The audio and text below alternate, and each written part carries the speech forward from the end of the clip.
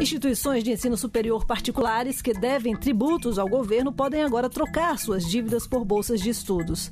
A medida faz parte do programa de estímulo à reestruturação e ao fortalecimento das instituições de ensino superior, o PROEIS.